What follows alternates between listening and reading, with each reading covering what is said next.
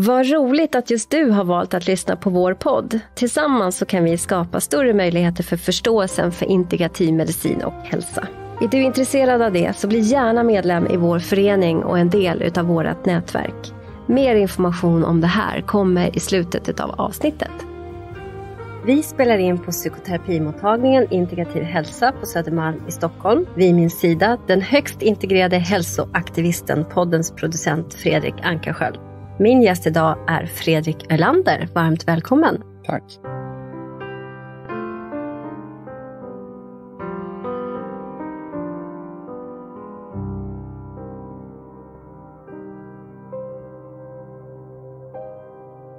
Fredrik, du har minst sagt en bred och omfattande bakgrund som jag ju vill att du ska berätta allt om idag. Men rent övergripande så har din karriärshistoria börjat som Östergötlands första lokalvårdare. Mm. Vilken titel du bär med stolthet. Ja. Jag är högst imponerande. Och därifrån så tog du dig till bank. Där slutade du. Jag tror att du var på bank i tio år. 20. 20 år var det. Mm. Mm. 20 år, men du slutade som marknadsansvarig på Swedbank. Därifrån så gick du till reklambranschen och där var du 10 år. ja, det kan ja. Man, ja, var det man, ja, men kan man, totalt sett så var jag nog där 10 år. Ja, okej. Okay. Mm. I alla fall så där var du en av upphovsmännen till Iprenmannen. Mm. Som vi i vår generation, 40 till 60-åringar, alla säkert känner igen. Själv var jag helt starstruck när jag mötte dig första gången, för Iprenmannen var liksom min... Jag, jag, jag gillade Iprenmannen. Och därifrån sen så blev, gick du till Apoteksbolaget och blev marknadschef. Ja, det stämmer bra. Och sen till United Spaces som du byggde upp som VD. Vi har ju pratat lite innan vi möts nu och jag vet ju att på United Spaces så händer något som har en genomgripande förändring både professionellt som privat för dig. Det är liksom ja. där det börjar, så vill du berätta? Ja, det kan jag. När jag kom in på United Spaces som VD så var det i egenskap av att vända det företaget. De hade brottats med en hel del för stor kostym, för mycket kostnader, för lite intäkter under flera år. Och jag fick fria händer att ändra på det, eh, vilket jag gjorde. Och tillsammans med mina fantastiska eh, medarbetare så eh, lyckades vi vända hela den där verksamheten till något positivt, vilket var väldigt kul. Och sen var det dags för att ta nästa steg, för när ägarna såg att United Spaces skulle klara av att stå på egna ben och fötter så ville man expandera och vi skulle till Waterfront.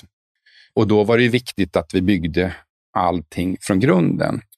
Eh, och med tanke på att ägarna också var varumärkesstrateger så eh, börjar vi i den änden, alltså börjar titta på varumärket. Vad, vad, står vi för? Vad är vi? Och vem pratar vi med? Och hur ska det vara? Och alltihopa det. Och det arbetet var jättespännande och, och vi gjorde det och lyckades ju attrahera rätt målgrupp och, och alltihopa. Men under den resan, det som blev så intressant, det var att ju mer jag jobbar med företagets grundvärderingar, så kände jag vikten av våra medarbetare och deras betydelse. Och när jag lyfte det då på ett styrelsemöte så menade ägarna på att det hade ingenting med individerna på företaget att göra, utan det byggde helt och hållet på namnet. Att det var ägarnas förtjänst. Då. Och då valde jag att lämna den organisationen.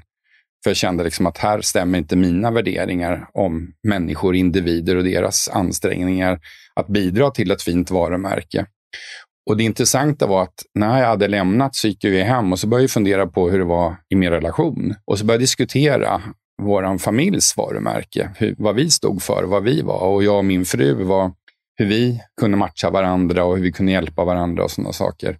Och insåg väl efter ett tag att våra värderingar stämde ju inte alls längre. Vi hade ju alltså det här klassiska, barnen började bli stora och vi hade vuxit ifrån varandra och det fanns inget intresse från andra hållet att hitta tillbaka.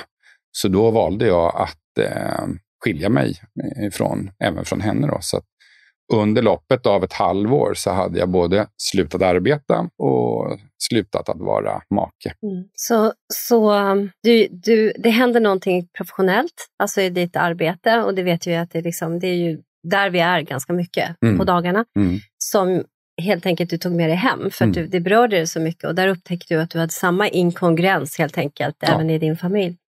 Så du valde att skilja dig och gå vidare. Vad hände då? Men lite började jag fundera på, ja, för mig har det alltid varit viktigt att man lever som man lär. Eh, oavsett om det har varit när jag gått hem och tittat på min mamma och pappa och vår familj där, eller när jag har jobbat på olika arbetsplatser, så säger någon någonting så har det varit viktigt att man följer det. För jag är nog rätt duktig på att följa det. Om någon säger till mig att nu ska det vara på det här viset, så, eh, så går jag in och tittar på det och så följer jag det och så är jag väldigt lojal och följer de grejerna när det gäller regler och, och alltihopa. Då, tills dess att jag kan hitta luckor. För jag, har, jag tycker själv att jag är, har inte alltid varit, men numera är sunt skeptisk emot mitt eget förhållningssätt med att vara eh, granskande i det jag också försöker vara lojal till. Mm. Och Det har ju då gjort att när jag tittar mig runt omkring, vad vill jag jobba med? vem vill jag vara? Vad ska jag stå för? Så känner jag att om jag ska kunna se mina tre söner i ögonen och när de blir äldre och de blir föräldrar och de tittar tillbaka på sin pappa, då, som i det här fallet är jag, då, så ska de känna att det finns en förutsägbarhet och alltid har gjort det. Och att, eh, att jag står för det jag säger och att jag har levt som jag lärt. Så att, att jag har varit eh, liksom en, en bra förebild är väl egentligen det, liksom, eller en klok gubbe eller vad man vill sammanfatta det som. Men att det landar i någonting som, som jag känner att jag kan vara stolt för och över. Mm. Det är mm. jätteviktigt. Mm, mm. Ja, det är det ju. Alltså det är Men ju det är inte lätt. Det, nej, det är det verkligen inte. det är ju en resa som heter duga. Ja, det tar ju aldrig ja, slut heller. Nej. Utan det är, vi lär oss ju mer och mer och mer och mer. Och mm. vi kan kanske inte liksom veta, eller vi vet inte allting, utan det handlar om att vara i process och tillåta sig att vara i process. Mm. Men Det är det jag tycker är så spännande. Mm. Jag känner att jag, att jag fortfarande är nyfiken. Eh, och det är det som driver mig i alltihop. Att jag vill lära mer, jag vill veta mer, jag vill leva längre. Jag vill liksom hålla mig frisk och, och klara av att göra alla de här sakerna. Det, det är en väldigt stark drivkraft som, som hjälper mig framåt eh, och som hjälper mig väldigt mycket liksom, i min vardag. Eh, och för att klara av det så måste jag tillämpa mina egna kunskaper och hålla mig glad och på gott humör och, och liksom ta hand om mig så att jag orkar och klarar av allt det där mm. som jag säger att jag, att jag är och vill vara. Mm. Och vi känner ju varandra lite grann också. Mm. Så slås jag av att du har ju sånt kallat grit, alltså driv, riktning framåt. Alltså, du börjar, vi bara tar, du börjar som, nu vet ju jag att vi ska komma till det här med att du driver en integrativ hälsomottagning. Mm. Och jag vet ju att du från början var i, i begynnarnas, i tid, vad kallar man det för, i begynnelsen. Början, ja, men precis. Ja. så ville du in på läkarlinjen. Ja, alltså ända sedan jag var liten, så när folk har frågat ah, vad ska du bli när du blir stor, vilket var poppis på 60 och 70-talet, så, så svarar jag jag ska bli barnläkare. Mm, för det var det jag ville och jag har alltid velat bli läkare. Jag har alltid varit superintresserad. Min mamma fick gömma läkarboken med bilder hemma för hon var rädd att jag skulle bli rädd för det jag såg i den. Men jag älskade att sitta och titta i den boken och när jag kunde läsa lite grann så fanns det sådana scheman. Har du feber, ja eller nej? Och så kunde man följa det schemat mm. och så fick man någon slags diagnos. Mm. Det tyckte jag var mm. urhäftigt. Jag, mm. den sidan var väl utnött, skulle jag tro. Så att jag tänkte att jag skulle börja från början, för en läkare upplevde jag då, det här får man ju inte glömma bort, det här är ju 70-tal då, mm. då upplevde jag att det var högsta chefen på avdelningen och då tänkte jag att ska jag bli högsta chefen på en avdelning, då vill jag liksom lära känna alla människor. Och utav någon konstig, var jag nu fick det ifrån, då, så tänkte jag att då ska jag börja från början. Så då ville jag eh, städa på sjukhuset mm. och börja städa avdelningen. För då tänkte jag att då kan jag gå lite undercover. Och då ska man veta att då var jag 14 år. Mm, just det, precis. Min flickvän mm. på den tiden, eh, hon eh, jobbade och eh, hon tyckte att det var så fruktansvärt tråkigt så hon frågade om jag kunde hålla henne sällskap. Så jag gick ju bredvid henne alla kvällar när hon gick och städade där uppe. Mm. Och till slut så tyckte chefen på städcentralen att, men Fredrik, du är ju ändå här och går bredvid hela tiden. Kan inte du ta ett eget städområde så kan ni mm. jobba tillsammans. Så det var så, så det började, ja. genom din flickvän? Ja. Ja. Mm. 14-åringar? Nej, hon, var, hon var faktiskt lite äldre än jag så att, okay. Det var hennes mamma som tyckte att hon var lite bekväm, så hon skulle liksom börja från början. Hennes mamma var läkarsekreterare. Så att det var så eh, vi kom in i, i, i det hela. Då. Men mm. eh, Jag valde ju att fortsätta, för jag tyckte att det var, det låter ju lite roligt, men jag tyckte att det var vansinnigt roligt att städa. Tycker du det fortfarande? Eh, ja. Är det rent hemma hos dig? Till och från. jag pluggar ju nu. Så att... okay. Men du, du, har, du gillar att ha rent och snyggt ja, runt omkring alltså, dig? Ordning och reda. reda. Så, ja. och jag, mm. Min mamma var ju sjuksköterska dessutom mm. och hon mm. har ju sorterat mm. allting i färgordning och så, mm. så att det sitter väl Gör sjuksköterska det? Det vet jag inte, men min jag mamma är sjuksköterska och du är också snart sjuksköterska. Ja, precis. Ja, men dit ska vi komma.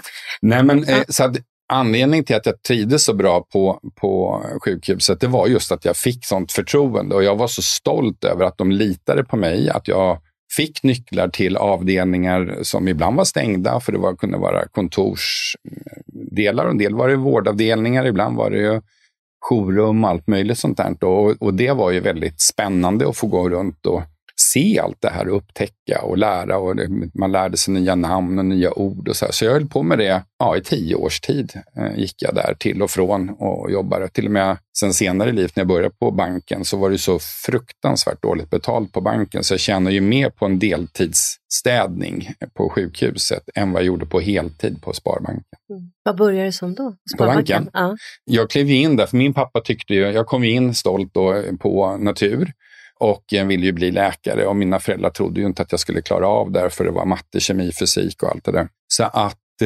de avrådde mig eh, att gå den. Eh, Vad sorgligt. Ja, det var ju liksom, det är nog det största kanske misstag jag gjort när det gäller utbildningsbiten. Då. Men det mm. rättar ju till sig längre fram i livet. Mm. Sen, men, mm. Så jag gick ju två år i social istället mm. och så tyckte min pappa att utan någon konstnämning så skulle jag läsa in sen årskurs tre. Det var ju helt idiotiskt. Jag vet inte varför jag lyssnade på det. Men sen hade vi i alla fall, eh, han ville inte att jag skulle fortsätta på eh, sjukhuset och städa. Så att eh, stolt som en tupp så tog jag min bankbok med ja, det var 1200 kronor på kanske gick in till personaldirektören på banken och sa hej, eh, jag är kund här, jag vill ha ett jobb. Och då skrattade de åt mig och så sa de, vad, vad är du bra på då? Och då sa jag, så, jag är väldigt duktig på att städa. Och då sa han, men det ska du inte behöva göra på banken, så, utan det har vi ju folk som gör. Utan däremot kan du få räkna pengar. Och så började det. Så jag började räkna servicebox. Så att alla kasser som kom från ICA satt jag och räknade för hand på den Hur tiden. Hur gammal var du då? Då var jag 20. Mm. Var då. Mm. Och sen så hamnade jag in i ett traineeprogram som var poppis på den tiden. Och sen har jag gjort historia. Jag har varit på lån i utland och eh, jobbat som eh, finansvalp. Eh, som... Har du haft roligt? Ja, jag älskade banken. Alltså, mm. Det var fantastiskt kul. Mm. Var du bara på Swedbank eller var du på flera banker? jag har varit på, på den tiden hette det Östgöta Enskilda. Mm. Idag är det Danske Bank. Eh, den var jag på. Eh, sen eh, har jag varit på Sparbanken. Det hände ju rätt mycket på Sparbanken. De har ju bytt namn, tror jag, tio gånger under min tillvaro där. Ehm, så att vi gick ju tillsammans med Föreningsbanken och, och, och, så här. Så det hände ju väldigt mycket. Och jag flyttade 1990, så flyttade jag från Linköping upp till Stockholm och började då på en låneinstitut där uppe som heter Spintab och var eh, ansvarig för en grupp människor där. Och sen har det liksom snurrat vidare och så hamnade jag till slut på marknadsavdelningen där vi var två stycken som var ansvariga för den ena för varumärket och den andra för alla kampanjer. Och jag var ansvarig för alla kampanjer eh, som vi drev. Då. Och då, på den tiden hade jag, jag hade så mycket pengar så det fanns inte. Och det var jättespännande. Jag, varit med, jag var ju med och startade, när TV4 startade så var jag med och finansierade liksom vädret och, och TV4.se och alla de här. Jag har fått var med och träffat och gjort alla de här, var med när Loket startade, Bingolotto liksom, och, och Stadskampen och liksom alla de här grejerna. Det var, det, har varit, det var en fantastiskt rolig tid. Och jag är otroligt tacksam eh, mot alla de människorna som jag sprang på där. Eh, som, och del har jag faktiskt kontakt med fortfarande. Då. Kul, det låter jätteroligt. Ja. Det, det, är det vi ska ha, för det är ju ja. faktiskt någonting som jag själv försöker säga till mina barn. att det, alltså, De ska utbilda sig, göra någonting, välja någonting att arbeta med som är roligt. Ja. För man, vi är där så stor del av dygnet. Mm. Det säger jag till alla mina patienter också, särskilt de unga. Att ja. Välj något som är kul, något ja, som är roligt. Ja, för att annars det påverkar i alla ramar, mm. apropå det vi kommer till sen när du är på United Spaces, mm. som du också tar med dig hem. Mm. Den förändringen. Ja. ja. Men gud vad roligt. Men sen måste vi ju gå in på Iprenmannen. Mm. Ja, alltså efter att vi har bytt chef ett antal gånger och vi hade massor med omorganisationer på Sparbanken så så kände jag att jag orkar inte en sån till. Och så var det någon som sa att om du inte ska bli kvar på banken resten av ditt liv så måste du sluta nu. Så då gjorde jag det. Så då fick jag jobb på... Du är responsiv på sånt som andra säger till dig. Mm. Vad händer i dig? Du måste ju ändå ha en process. Alltså nu är det psykoterapeuten som blir lite Ja. intresserad. Någon kastar på dig någonting. Du, må, du, du går ju inte bara dit här, ja, ja, men då är, utan du måste ju ha någon sorts inre process med det här. Ja, ja. Eller? Absolut. Jo, Ja. ja. Ja. I det här fallet så var det så att jag vet att jag ringde till min pappa. Mm. Eh, Och jag jobbar ju på banken för hans skull. Och så ringer jag till honom och säger att du, jag funderar på att sluta. Och då säger han, ja du får väl göra vad du vill. Jag bryr mig inte. Mm. Och Oj. då gick det upp för mig liksom att, men oj, här har jag liksom gjort det här för att du ska vara stolt och glad. Och jag skulle ju inte bli doktor. Alltså då, då hände det någonting ordentligt i mig. Så att, Så där har du också ett paradigmskifte. Och det var väl liksom lite sådär att jag kände att det var, jag ville göra någonting annat. Och så visste jag inte vad någonting annat var. Så jag gick ju till min chef på Sparbanken och det var lite så här kaxigt. Jag vet inte var jag fått den kaxigheten ifrån. Men då sa jag, jag måste tyvärr säga upp mig för jag har fått eh, jobb i en konkurrerande verksamhet, sa jag. Och de bara, "Jaha, vart ska du ta vägen? Nej, det kan jag tyvärr inte säga, det är hemligt. Så då fick jag gå på dagen med tre månaders lön och jag var supernöjd och tyckte att wow, tre månader och inte behöva jobba var jätteskönt. Dilemmat var ju att jag hade ju inget jobb. Mhm. Ouch. Men så hade jag sån jädra eh, flax att jag såg att eh, en reklambyrå hade fått SE-banken som kund. Så då ringde jag dit och sa de, jag kan bank, det kan inte ni. Jag Och dessutom har jag jobbat med reklam, så jag kan komma över och, och hjälpa er. Och ja, det lyckades. Så att jag blev ju anställd för att ta hand om SE-banken och deras, eh, vad ska man säga, deras eh, privatrådgivningskunder, reklam och, och så eh, vilket jag gjorde. Men sen fick jag också ett uppdrag av dem att eh, varumärkespositionera eh, för Pharmacia på den tiden. De hade två varumärken som vi jobbade med på den här reklambyrån. Och det ena var Treo och det andra var Ipren. Och då ville de att vi skulle positionera de två eh, varumärkena på olika sätt till olika målgrupper för att de, skulle, att de inte skulle kapitalisera på varandra. Och Treo, då skapade vi plötslig huvudvärk. Och Ipren var en modernare tablett, så då pratar vi väldigt mycket om att den själv söker upp, upp var det har ont någonstans. Och vi skulle försöka hitta något bra koncept för det där. Eh, och det roliga var att den här kvinnan som var vår uppdragsgivare, hon kom till oss och hon tyckte nog att vi var ett gäng. Hon var mycket äldre än vad vi eh, var. Och hon, eh, varenda gång hon kom så drog hon pitchen liksom hela tiden. Ipren är rent verksamheten. Bla, och Så drog hon bara bla, bla, bla, bla, bla. Och när hon har gjort den 10-12 gånger och sen gått därifrån så var det en kille på byrån som hette Gustav som eh, sa, vet ni vem det här är? säger han då. Och så tar han fram gitarren och så säger han, jag är i pren. Och, så, och då skrek vi ju allihopa.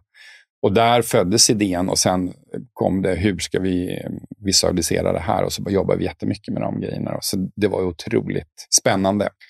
Sen blev ju eh, Ipren blev ju faktiskt eh, stämd för att eh, Alvedon gick ut och blev skitförbannad för vi tog otroligt mycket marknadsandelar. Och då blev de rädda, så de, för att få stopp på oss så gick de ut och sa att man kan inte säga att den är intelligent, en värktablett. Så då blir ju reklamen stoppad. Och under tiden gjorde de en reklamfilm med en farmaceut som stod och pratade om hur bra Alvedon var. Och då plötsligt, jag hade ju gått en utbildning i reklam, kom, reklam och kommunikation, så att då ringde jag till den där reklambyrån som hade gjort deras reklam Så du den här fantastiska farmaceuten, vilket apotek jobbar hon på? Hon bara, nej, nej, nej, det är en skådespelare. Jaha, okej, kan man anlita henne? Ja, absolut. Ja, men vad bra, tack snälla, hej då. Sen skickade jag in en stämningsansökan på osant intygande, för det var ju en skådespelare och inte en riktig farmaceut. Och då blir det deras reklamfilm stoppad. Och sen var hela det där kriget igång och så hoppar de på oss igen. Och då hade jag ju fått lära mig, jag hade fått gå en verkskola. Eh, och då fick jag ju lära mig att Alvedon är ju verksamt, den är ju skonsam för magen och verksam i levern. Så att man kan få väldiga leverproblem.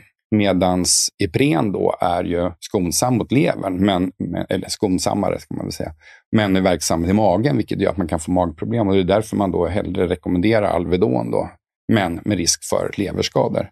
Och vi drev, det blir sånt tjafs mellan oss att vi, vi, jag drev det ganska hårt. Så numera är det ju faktiskt en varningstext i Alvedon på att man kan få leverskador. Mm. Så det var en, en, en, ja, så det var en, en, så där började väl hela min läkemedels Mm. fundering Med ett stort vad... intresse, för du hade ju ditt intresse redan från tidig ålder. Så jag tänker, Ja. du hade ju säkert gjort mycket tankearbete som ändå liksom någon Ja, en del annan... har gjort, men här Ja. kom nog det här med läkemedel in. Är det bra? Är det dåligt? Kan man liksom äta läkemedel hur som helst? Finns det biverkningar? Ah. Ja, ja, ja. Finns det biverkningar? Det hade jag ingen koll på då. Och nu ska man komma ihåg att i tiden så var väl jag kanske runt 35, kanske något sånt, 40, eller någonstans. 40 var jag kanske.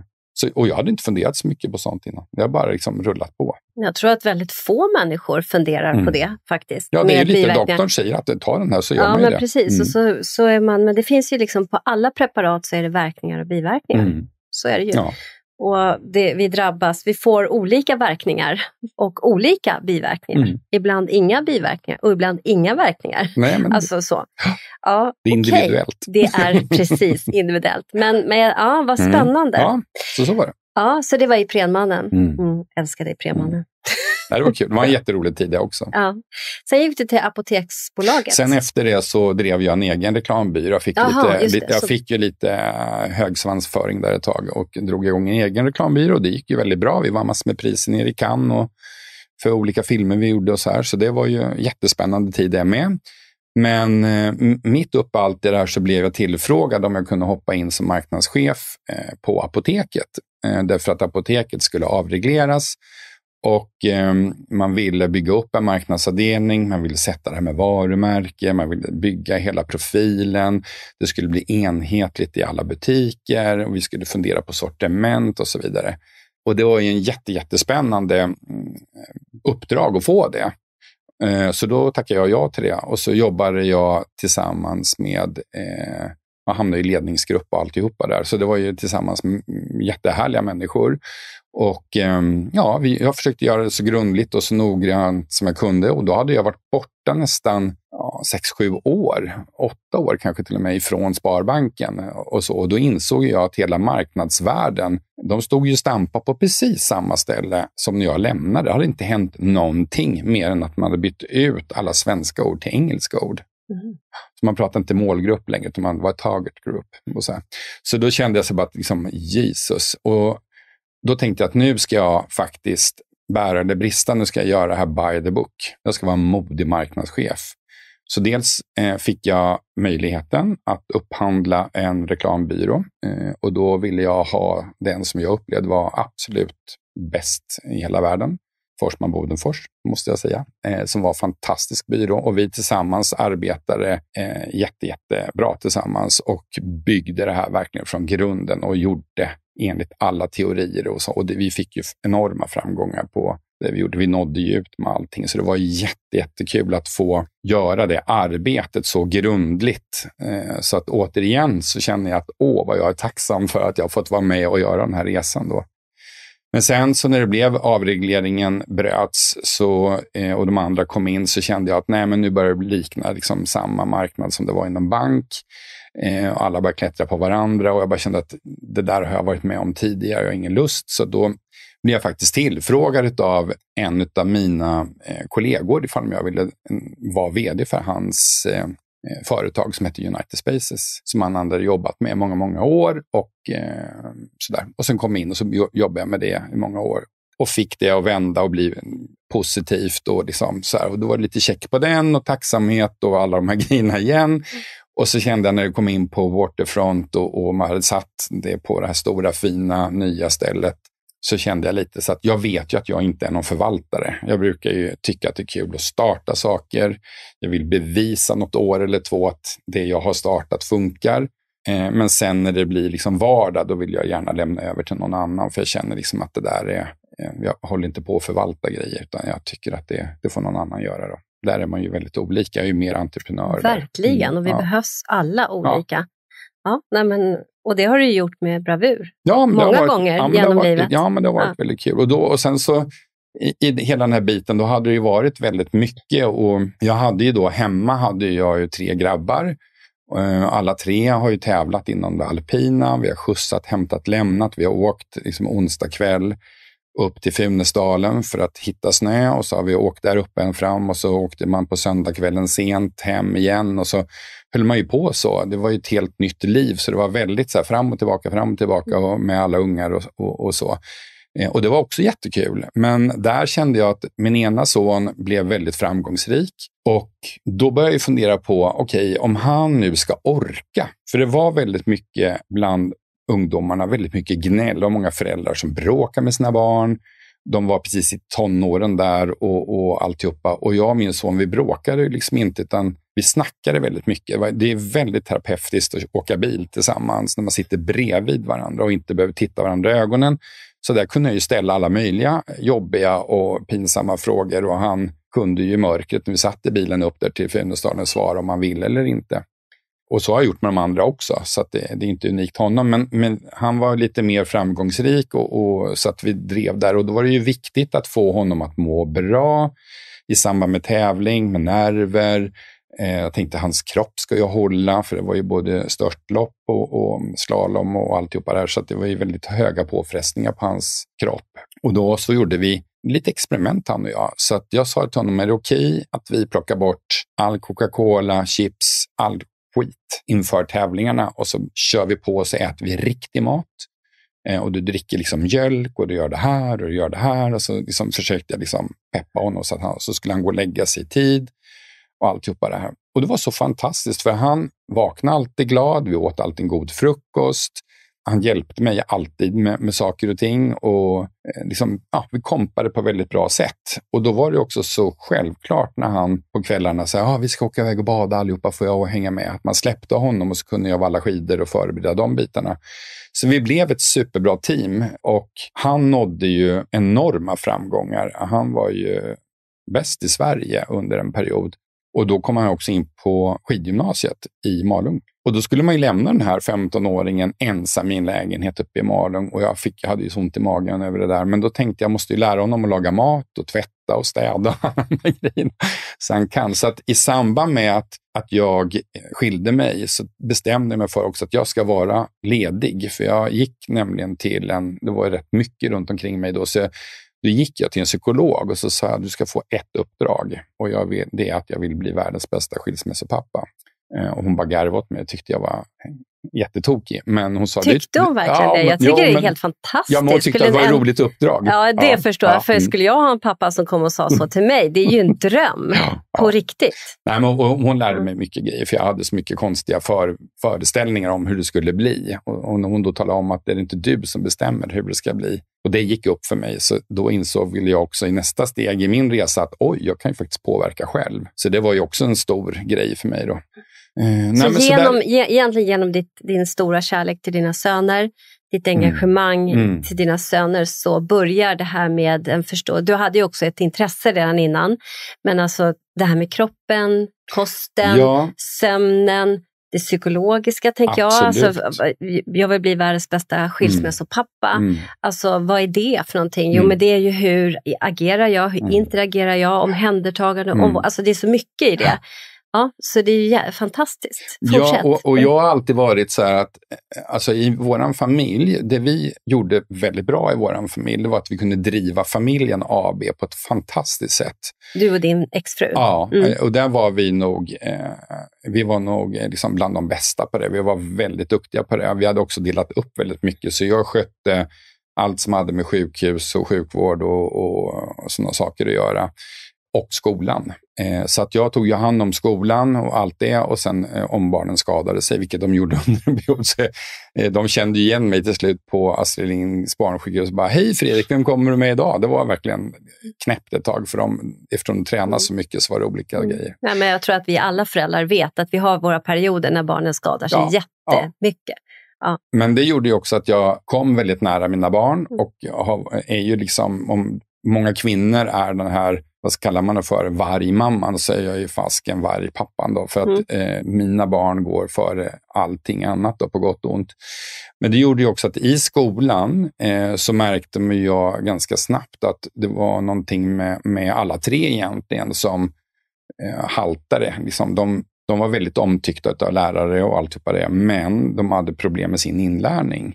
Och då blir man ju lite så här orolig, för man liksom, skolan är ju viktig och man vill ju att barnen ska få in de här grejerna. Och både jag och min före detta fru jobbade ju väldigt, väldigt mycket och vi hade mycket engagemang. Sen när vi skilde oss blev det ännu mer det här, vem ska göra läxorna och vem kan hjälpa och stötta? Och, och jag tog ju på mig hela läxläsningsbiten och kände att ska jag överleva så måste jag få mina barn att förstå vad de måste göra då. Och då började jag läsa på eh, olika saker och då kom jag på att oj, maten, alltså hur vi äter, våra rutiner, hur vi sover, liksom, hur vi tar hand om det. Alla skador inom, de spelade fotboll på somrarna, alla skador som blev runt omkring det och sådana saker. Hur, hur kan jag optimera? Hur kan jag börja titta på de här grejerna? Hur kan jag få dem att må så bra som möjligt? Då? Och samtidigt hålla huvudet. Alltså jag vill ju, precis som vi var inne på förut, att det ska vara roligt. Jag vill inte att mina barn, andra barn gick iväg och var ledsna och de ville inte och det var tvång från föräldrarna och hårda ord och liksom sådana saker. Och jag kände att jag ville att mina barn ska... Jag sa, ni får göra precis vad ni vill så länge ni tycker det är kul. Men tycker ni inte det är roligt, då slutar vi. Men vi slutar inte idag, utan vi slutar när terminen är slut. Och sen behöver du inte göra det mer. Men, så lite uthållighet var de tvungna att visa ja, att de ja, hade. Då. Visst, och det är ju också någonting man ja. faktiskt behöver lära sina barn. Ja. Mm. Och då kommer jag ihåg att jag stod på en fotbollsplan tillsammans med min ena son som var där och spelade. Uh, och han mötte AIK och vi uh, stod där och uh, de spelade framåt. Det var en ganska tråkig match. Det hände inte speciellt mycket. Och så här, jag gick åt sidan och ringde en kompis som bor i Göteborg som då säger till mig att Åh, det måste vara världens lyckligaste för att nu startar man upp en helt ny utbildning i Stockholm. Och hade jag bott i Stockholm hade jag ju gått den alla dagar i veckan. Och jag bara, vad är det för någonting? Ja, men det är något som heter funktionsmedicin. Och jag bara, va? Vad är det? Men du kan gå in och läsa. Så gjorde jag det. Så på Funktionsmedicinska institutet eh, började jag läsa. Jag kommer så väl då att jag ringde till han som äger det och sa bara att här är alla mina pengar, ta dem med detsamma, för jag, det här ska jag gå. För jag var livrädd att de skulle ta det ifrån mig. Så jag gick eh, alla de här olika stegen som där han hade byggt upp. Man skulle läsa någon bok, bok om paleo, sen skulle man vara näring. Och för den som lyssnar då kan vi ju sägga att paleo är ju stenålderskost. Ja, mm. precis. Ja. Att man mm. äter som ursprunget. Liksom, mm. och så här. Och då hade han skrivit en bok om det och sen så eh, tittade vi på det här med näringen och så blir man kostrådgivare. Så var det mycket träning och så var det funktionsmedicin och näringsmedicin. Och så, här så jag gick ju alla de där stegen då under några år och när vi var klara med det här, då berättar han att det finns en, törs nästan säga, riktig utbildning i USA eh, på IFM, som de heter då, eh, som är funktionsmedicinska organisationen i USA. Så då kollade jag upp det och då åkte jag över till USA och gick steg ett. Och sen åkte jag över något år senare och gick steg två. Och sen skulle jag läsa det sju steg så jag skulle gå vidare då. Men sen kom den här förbaskade pandemin. Så att eh, då kom jag inte vidare, men jag ska slutföra det då, har jag tänkt. Då. Men där läste jag och drog igång då 2016 eh, hälsomottagningen och började ta lite patienter sådär smått och, och har varit väldigt noga då med att följa alla vetenskapligheter för att eh, alla de här referenserna som vi fick i skolan av eh, Funktionsmedicinska institutet jag läste dem och så försökte jag liksom följa dem så att jag hela tiden skulle ha det här vetenskapliga och beprövade erfarenheten med mig. Även om jag var oerfaren så skulle jag ha något att falla tillbaka på så att jag inte lurade någon. Och det var viktigt för mig att man inte satt hemma eller i någon källarlokal utan att det skulle vara på riktigt, att det skulle vara en riktig mottagning. och så. så jag var, jag var liksom nästan överseriös i det där och eh, drev på det. Men eh, ja, jag fick ihop nästan 700 patienter eh, som jag jobbade med. Och eh, de som gjorde och följde det jag kom med, de har ju alla vittnat om att de har fått resultat, vilket var väldigt kul. Och då började jag ju fundera på det här med funktionsmedicinen. Därför funktionsmedicinen är ju väldigt spännande men, och den går ju ut på att man tittar på vad är den bakomliggande orsaken. Man ställer frågan varför. Var? Ja. Och det har jag gjort hela mitt liv. Vad än jag ska lära mig. Så jag frågar, men varför är det så? Då? Varför säger du så här? Varför? Varför? Jag har ju varit en mm.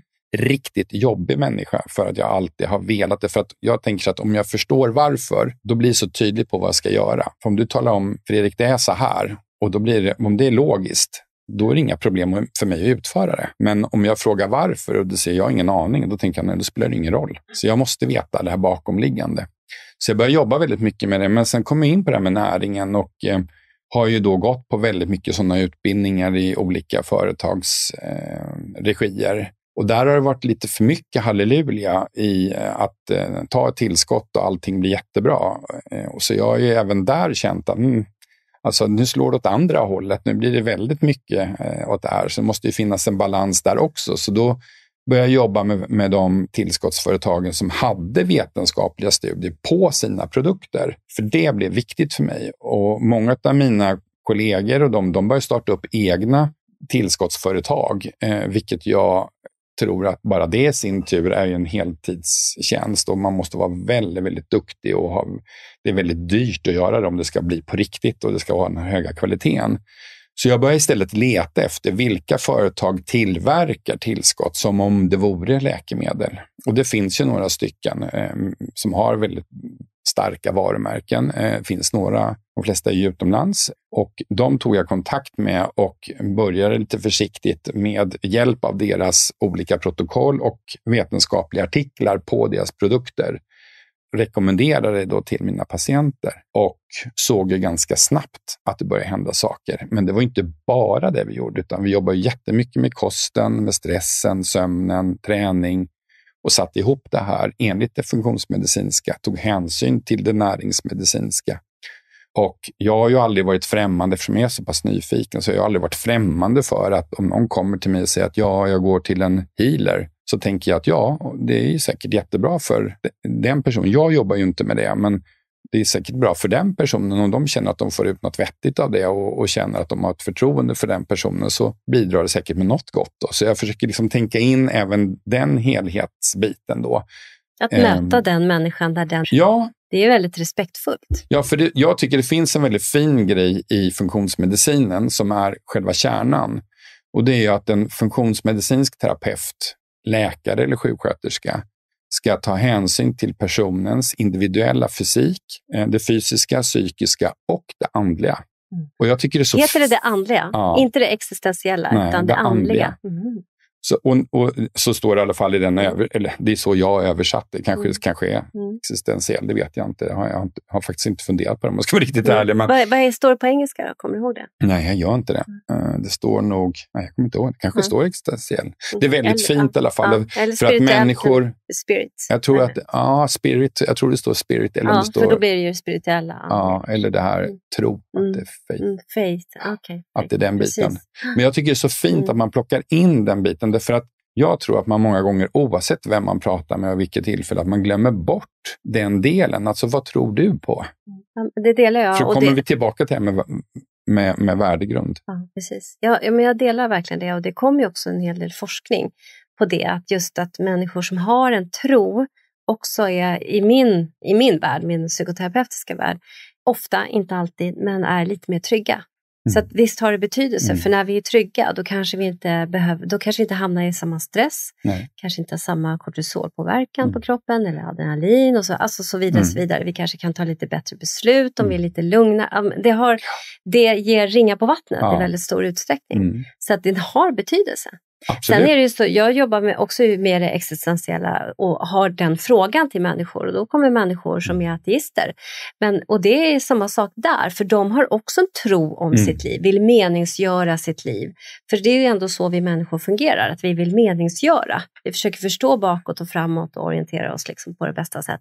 Och särskilt i, i nuet. Ja. Så det har högst, i högsta grad eh, betydelse. Absolut, och, och idag är ju människor det är sån hög stress på människor idag, överallt i samhället. Allt ifrån de här små barnen som börjar skolan till, till våra äldre människor som är rädda för att komma in på olika boenden och inte kunna klara sig själv. Stressen finns i alla led, i alla åldrar.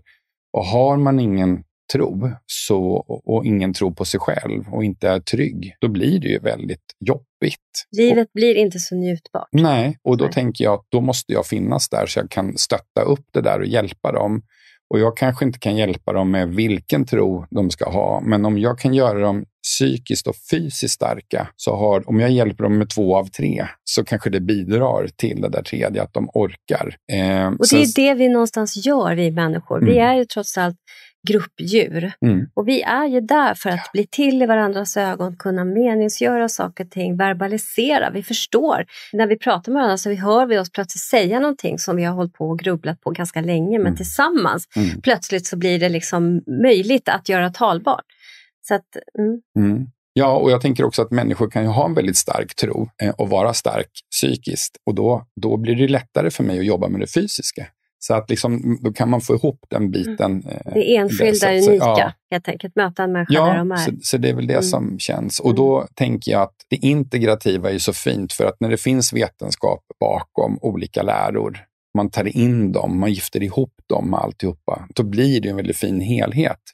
Men för mig så kände väl jag någonstans att en läkare som jag jobbar tillsammans med, och hon har ju varit med här förut, Cecilia Tibell, när hon säger till mig att fasken Fredrik, jag tycker du ska, tycker du ska ta tag i och börja plugga till sjuksköterska. Eh, så tänkte jag så här att nej men gud, det kommer aldrig gå. Jag kan ju inte, jag kan ju inte, liksom, kan inte bli doktor, kan inte bli sjuksköterska. Nej men det går inte. Och så sa hon, jo men vi skulle verkligen behöva en sjuksköterska i liksom vårt nätverk och vi som jobbar tillsammans och så. Så tänkte jag, ja, jag slänger in mina grundskolebetyg och menar, eller gymnasiebetygen och kommer in så kommer jag in. Och så kom jag in. och då blev jag så här, bara, va? Det var så dålig ändå, för jag kom in direkt. Så jag började ju plugga för eh, två år sedan, så nu går jag in på termin fem av sex då. Och jag tycker ju att det är så vansinnigt roligt. Och nu får jag det här som jag tycker är så fint. Nu får jag skolmedicinen som en grund och förvaltar jag det rätt så får jag också min legitimation. Och då blir ju hela den här skolmedicin, näringsmedicin, integrativ medicin och eh, integrativt det blir ju liksom en helhet som, som jag tror och hoppas att mina patienter ska känna av att de verkligen får både tiden och kraften från mig med alla de här erfarenhetsområdena. Och det är det jag har strävat efter. För någon gång för länge sedan så gjorde jag en övning tillsammans med en, en kompis som hade gått en NLP-kurs där man ska programmera om sig. Och då, och då hade hon gjort en, en, en, gjorde hon en övning med mig som gick ut på, som hon kallar för tratten, som gick ut på att man skulle då få ner fem, sex ord på ett papper och så skulle det identifiera vem man var och vad man nu skulle bli och vad man skulle jobba med, vad som var mitt livsöde. Och jag gjorde det där lite så, men där kom det fram typ att jag skulle vara en klok gubbe som jobbade med hälsa och lite sådana grejer. Och, det, och jag har bara skrattat åt det så många gånger, för det har nog legat till grund till väldigt mycket när jag bytte karriär helt och hållet och bytte spår. Det har blivit så. Mm. Det har tagit tid, men det har blivit så. Och jag är på väg åt det, jag är inte färdig än, men eftersom jag är nyfiken så tänker jag att det här ska jag hålla på länge. Mm. Ja, det är så spännande. Och jag, eftersom jag, alltså vi, vi är lika men ändå olika, men just det här att gifta ihop de här två olika världarna, Mm. det är så verkningsfullt Mm. för både sig själv, apropå det du har berättat om dina söner och ditt engagemang för dem, för dig själv, du vill leva länge, du vill bara liksom, vi, må bra, kunna njuta av livet och skaffa dig kunskaper. För mig, jag, det, jag går para, har gått parallellt med dig också eftersom mitt stora intresse, eller ska man säga, inte bara, men mina barn var ju liksom en wake-up call väldigt Mm. mycket för Även om mitt också intresse hade liksom startat redan tidigare, långt tidigare, men det blev där det blev liksom nu. Ja. All in i det här för att mina barn hade utgångslägen som jag behövde liksom hjälpas åt. Och min, min, pappan till mina barn var också intresserad av det här så att vi liksom kunde göra det här tillsammans. Mm. Han var jätteintresserad och vi kom lite från olika håll, och vilket också blev, han kom mer från det alternativa hållet, jag kom från det skolmedicinska. Och då blev det det här giftet mellan de här två, det är så kraftfullt. Mm. Så det är ju någonting som är mitt stora engagemang, är att få ihop de här världarna, därför att det finns inget motsatsförhållande. Nej. Det finns inget motsatsförhållande, det är någonting som är liksom skapat ur vad det nu är för någonting. Behöver Jag, ja. tänker att det så, jag tänkte väldigt mycket på det när jag satt och pluggade i, eh, under pandemin. För jag hade i mitt tycke lite tur. Jag började läsa precis när pandemin blev som värst. Eftersom jag är en social och eh, sällskapssjuk människa så kunde det inte bli bättre för mig. Därför att alla mina vänner och andra människor som jag tycker om blev ju inlåsta. Så jag visste att de kommer inte göra något roligt, så jag kan verkligen 100% fokusera på att plugga. Så att jag fick ett och ett halvt år med 100% fokus på skolan, för ingen annan tyckte jag gjorde något roligare än vad jag gjorde, så att det blev ju jättebra för mig. Men under den biten när jag läste, så det finns ju någon konstig uppfattning att funktionsmedicin är på ett sätt och skolmedicin är på ett annat. Och så vill man gärna bygga någon form av konflikt däremellan. Och jag skulle vilja hävda att det finns ingen konflikt däremellan. Även om de funktionsmedicinska instituten och en del av mina kollegor försöker lägga det mot varandra, så tänker jag så här att det jag får lära mig som sjuksköterska, det är ju det här personcentrerade. Vi ska se hela individen, vi ska jobba i team, vi ska ta in helheten. Man nämner alla de här punkterna som vi i funktionsmedicinen har på våran amanes, kan inte jag säga, am, vad heter det? Am, anamnes. anamnes. anamnes. Ja. Eh, så eh, märker jag att när jag kommer inom sjukvården, för nu har jag varit ute och praktiserat, och då ser jag att de, de går. Den stora skillnaden är att i skolmedicinen så tar man sig inte tid. Man får inte, man kan inte, man hinner inte ta tid till att fylla i alla de här grejerna. Men det är samma frågor. Och skillnaden är att när jag träffar en person första gången så gör jag det i två timmar. Och då har de ju fyllt i det här hemma och skickat in sina åtta dokument till mig så jag kan sitta och läsa på. Den förmånen har man ju aldrig, varken som patient eller som i mitt fall då sjuksköterska, när man träffar en patient inom vanlig vård. Utan det är ju ett helt annat tempo, en annan Ja, som de sa till mig, Fredrik, här optimerar vi inte människor. Här gör vi enligt protokollet och så hoppas vi att det går bra. Och, och det är det jag någonstans känner att det är väl lite där det blir tok. Vadå protokollet? Alltså det finns... Och du vill ju optimera människor. Jag vill ju optimera. Jag vill ja. att alla ska må så, alltså jag vill att alla ska må så bra de bara kan där de befinner sig. Eh, och, och, och jag har tänkt jättemycket på det här därför att om man tittar på våra äldre som sitter hemma, vi, det är så sällan vi ställer positiva frågor till dem. Tänk om man ringer till sin så här, hur pigg är du idag? Vad ska du hitta på för något roligt? Om man ställer sådana frågor till sina äldre, vi istället för ja, hur ont har du? Är det tråkigt? Hur, är det? hur mår du? Jaha, har du gjort något överhuvudtaget idag? Alltså det är så negativt. Så vi trycker ju på dem att det ska vara tråkigt att vara gammal. Att det liksom så. Jag tänker man behöver ändra attityden. Jag älskar mina lite nu då, att vi ser inte världen som den är, vi ser världen som vi är. Mm. Eh, och det är så, det är liksom omöjligt någonting annat eftersom vi lever i våra hjärnor och våra erfarenheter och minnen och liv och så vidare så, så är det där vi är. Ja. Och om vi ändrar oss själva och ser, inte ser det här att bli äldre som alltså, som du tänker så här, men jag vill optimera mig. Så tänker jag med. Mm. Jag vill optimera mig, jag vill leva så länge det går, jag vill också vara frisk hela ja. vägen in i kaklet liksom, på något sätt. Så, så blir det ju också med de glasögonen vi tittar på mm. äldre mm. människor. Titta på människor med, som är äldre med all den vishet de har till exempel, mm. istället för att se en äldre människa som är no useful. Det ja. är ju faktiskt inte så. De allra flesta har ju, sitter ju, har mycket liv bakom sig och väldigt mycket kunskap och, mm. och erfarenheter som vi behöver i vårt samhälle ja. med tanke på vad vi sitter i för utmaningar också. Mm. Och vad det gäller integrativ medicin och funktionsmedicin och uh, näringsmedicin, alla de här mm. olika som vi pratar om, så, så tänker jag att vi har ju en, en fantastisk akutvård, det har jag sagt förut, en fantastisk akutvård, fantastisk intensivvård, fantastisk specialistvård, mm. jättekunniga människor där ute, men det mm. kroniska och komplexa, det kluriga, och svåra mm. när någon har gått med någonting väldigt länge och man inte, det är vi inte så bra på. Och där kommer den här integrativa kunskapen, den mm. personcentrerade kunskapen in. Och den får ju inte så mycket forskning därför att vi kan inte evidensutvärdera det som inte går att generalisera. Och där måste, det handlar ju liksom om den här, gå tillbaka nästan till läkekonst, ett, en vård. Och någonstans måste jag säga att jag tycker ändå att vi sjuksköterskor faktiskt, vi drillas ju in i det där. Jag är utbildad mig på Sofiahemmet. Jag tycker mm. det var en fantastisk skola och mm. fantastisk utbildning. Där vi liksom så här, okej, okay, du får all den här informationen på rapporten. Sen går du in till patienten och lyfter på täcket, tittar på dem, mm. upplever dem, luktar på andedräkten, mm. tar i handen, mm. känner hur känns handen? Är den svettig? Är den kall eller varm? Hur ser blicken ut?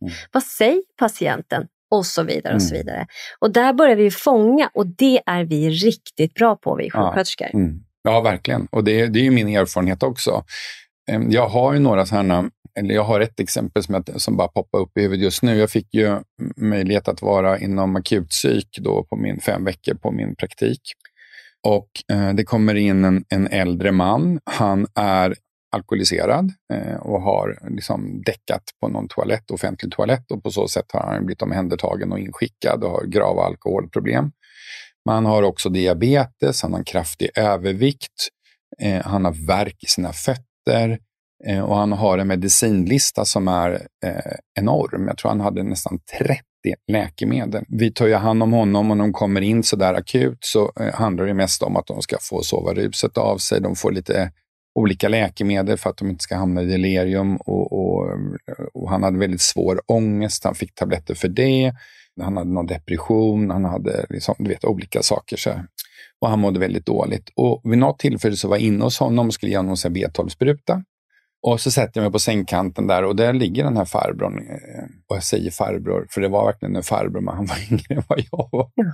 Mm. Och så frågade jag honom, hur är det? Och då så tog han min hand och så började han skaka, liksom hela handen och så här, åh, jag har så svår ångest. Och så, men du vet, ångest går ju över, det är inget farligt. Det är obehagligt, men det är inget farligt. Ja, och så pratade vi hit och dit. Och, och han hade så här, åh, jag har så jag känner mitt hjärta och jag får så här. Och så sa jag, men, och det var hjärtat hela tiden. Och så sa jag, men om du vill, vi kan ju ta ett EKG så kan vi se liksom hur det är. Så, så att det inte är något som pågår där nu när du har kört på så pass hårt som du har gjort nu under en period. Då. Så vi, vi gör ett EKG på honom. Då fick ju jag träna på det också. Så alla var ju positivt inställda till det. Då.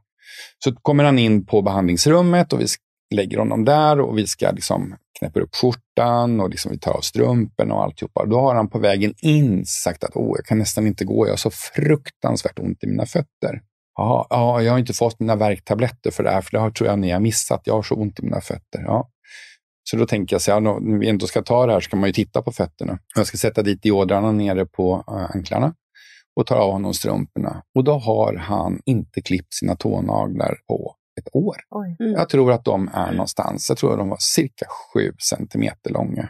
Oj. Och ligger vikta ut med hela oh, tåraden. Där naglarna då har vuxit in i skinnet. Och då mm. tänker jag så här att tacka sjutton för att han har ont i sina fötter. Mm. Det är ju tånaglarna som gör ont varje gång han ja, går, för det skär in i skinnet. Ja. Han är så tjock så han kan inte böja sig fram och klippa tånaglarna själv. Han behöver hjälp med det här. Han har ingen bostad, mm. Mm. så det finns mm. ingen människa i hans område som varken tittar till honom eller någonting. På ronden, när han har gått, så tar jag upp det här med vår överläkare, en psykiatriker, och säger att jag vill bara påtala om att jag som student har sett att han har väldigt ont i sina fötter. Och ni har ju själva sagt att vi ska se över läkemedelslistan. Och jag tänker att man kan ta bort de här tre läkemedlen som jag upplever är kopplade direkt till att han har värk i sina fötter. Om vi bara kan ge honom lite medicinsk fotvård så kommer det där säkert bli mycket bättre. Och då kommer hans blodtryck att sjunka, det är alla de här grejerna, följdeffekterna som mm. blir. Och här kommer då problemet. Då säger den här läkaren till, till mig då så här, ja du Fredrik, säger han så här, det finns ett litet problem. Det är så att nu tillhör ju han då primärvården. Och om jag skulle skriva in det här i hans journal så kommer läkaren på vårdcentralen bli asförbannad på mig. För det är inte min sak att påtala att han har långa tånaglar. Så det får nog den doktorn upptäcka själv. Mm. Det, alltså det, man och då sa alldeles... men, men patienten då? Ja, ja, du får väl prata med patienten att han tar upp det. Ja, men två, han, ett, han skäms. Två, han är alkoholiserad. Tre, han mår inget bra. Han har svår ångest. Alltså han kommer aldrig varken komma ihåg eller tänka på det. Han har inte sett sina fötter säkert på flera år.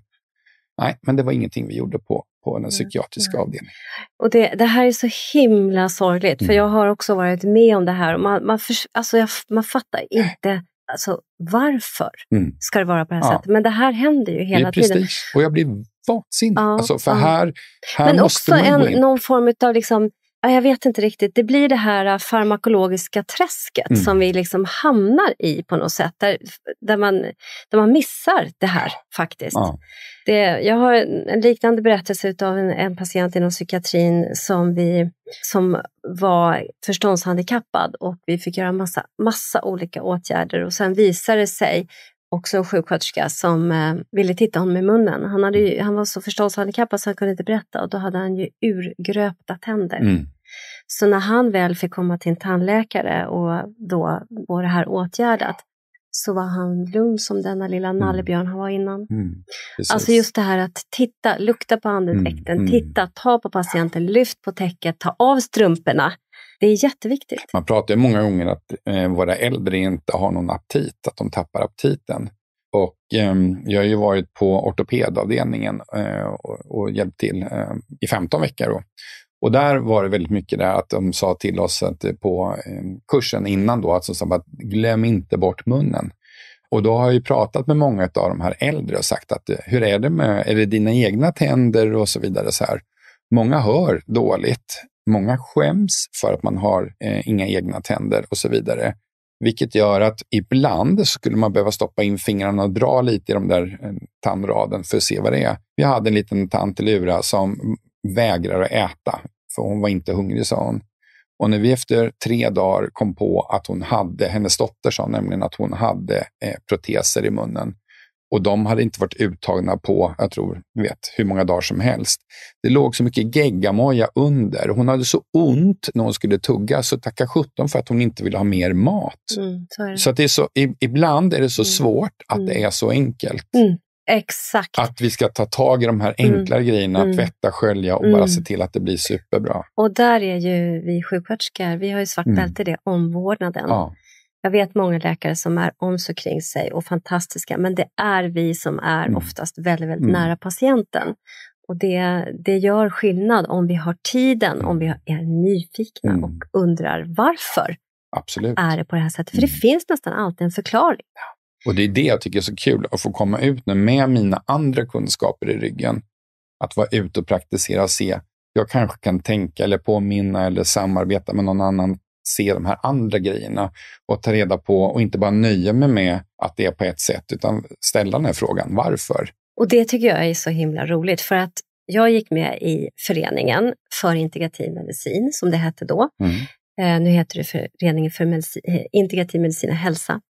Där var det fortfarande det här uppdelande. 2012 var det. Det var mm. mycket uppdelat idag, nu, nu har vi ju ett nätverk och vi mm. börjar ju, vi, eller börjar, vi samarbetar ju i nätverken. Mm. för att kunna ge person, alltså människorna som söker hjälp, som mm. oftast har gjort allt annat inom den traditionella hälso och sjukvården, så kommer ju så småningom till oss som är pri privat. Vi, jag tycker ju att det här borde finnas inom, jag skulle vilja vara med och reformera hela landstinget, ja. både den somatiska och den psykiatriska utifrån vår kunskap mm. som vi har, som ja. faktiskt är forskningsbelagd. Och som, ja. Eh, så att eh, mm, det finns mycket att prata om och jag har ju faktiskt egentligen lite fler frågor till dig, mm. men eh, vår tid börjar rinna ut. Så att jag tänkte fråga dig så här, dels om jag får bjuda in dig igen. Ja, jättegärna. Tack, för det vill jag verkligen. Och jag vill väldigt gärna bara slänga på dig då att jag skulle prata om eh, magen och mm. hjärnan. Ja. Den kopplingen. Oh, jag har Gut-brain. Världens bästa historia där. Kan vi, ta, kan, kan vi ta det som en cliffhanger till vår nästa avsnitt? Mm. Och så, men så vill jag fråga dig innan vi avslutar, om det är någonting som du känner att du skulle vilja ta upp idag innan, som du känner att det här vill jag säga innan vi avslutar? Ja, det finns en sak som jag tänker när det gäller hela, oavsett om det är skolmedicin, funktionsmedicin, näringsmedicin eller den integrativa medicinen.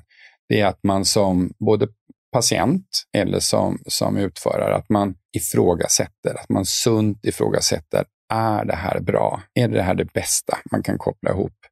Därför att jag tänker, jag läste en artikel precis när jag gick hit om en kvinna som hade mött några eh, som hon då klassade som alternativare.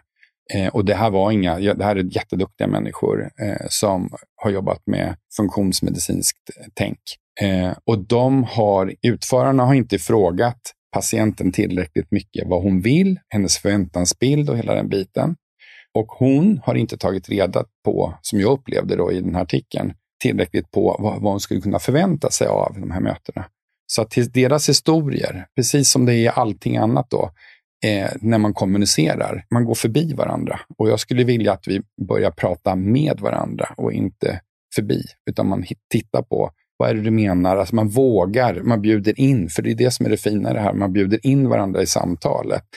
Att man liksom, vad är din förväntansbild idag när vi ses? Vad, vad är du, varför är du här? Det kanske är något helt annat än vad jag har sett eller tänkt. En tydligare ramsättning Precis, helt enkelt. Att man, är, ja. att man vågar hjälpa varandra. För i, i vanliga mediciner, många tanter man går in till, eh, oftast små fina tanter då, är 80 plus, och så frågar man hur mår du idag? Jo tack, det är så bra, säger de. Och det ligger de med brutet höftben och eh, liksom har svinont och liksom mår inget bra. Och då är det lite det här, inget besvär för min skull. Vi måste ta oss förbi den biten och våga prata med varandra där man inte har, jobba med de här andra, det är att jag säger vad jag tror att du förväntar dig att jag ska svara och så vidare. Så, här, så att man möter varandra. Det är ju själva mötet.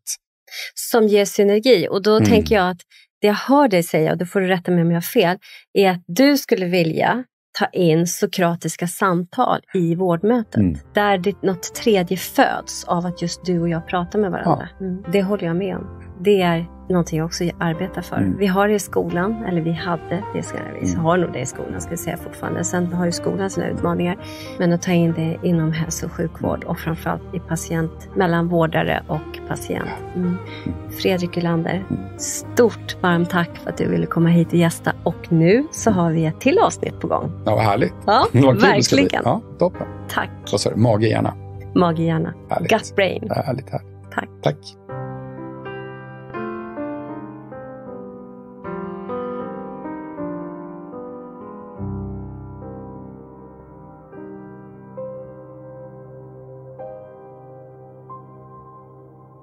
Både och istället för antingen eller en podd om integrativ medicin och hälsa är skapad och drivs av Svensk förening för integrativ medicin och hälsa, FIM. FIM är ursprungligen en yrkesförening för legitimerad vårdpersonal. Vi representerar sjuksköterskor, dietister, fysioterapeuter, läkare, psykoterapeuter, psykologer, tandläkare för att nämna några. Idag omfattas våra medlemmar även av associerade medlemmar som inte behöver vara legitimerade. Föreningens arbete vilar mot den vetenskapliga grund för integrativ medicin och hälsa som finns, såväl svensk som internationell och på systemisk förståelse av människan i sin miljö. Vår förenings arbetssätt har hittills varit att arrangera konferenser, seminarier och folkbilda genom att sprida information, exempelvis via sociala medier. Vår strävan inom integrativ medicin är att vara en organisation som vågar lyfta och ifrågasätta, motverka polariseringar genom tvärvetenskapliga dialoger och sokratiska samtalsregler. Vi vill kartlägga forskning som bedrivs, även internationellt, och hålla koll på aktuella forskningsresultat om behandlingsmetoder, både vad det gäller den etablerade vården liksom den vård som bedrivs utanför den etablerade vården.